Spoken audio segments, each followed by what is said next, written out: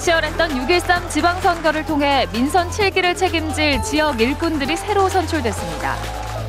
심층 토론은 각 지역 자치단체 당선인을 초청해 당선 소감과 지역 발전을 위한 청사진, 그리고 미래를 향한 포부 등을 듣습니다.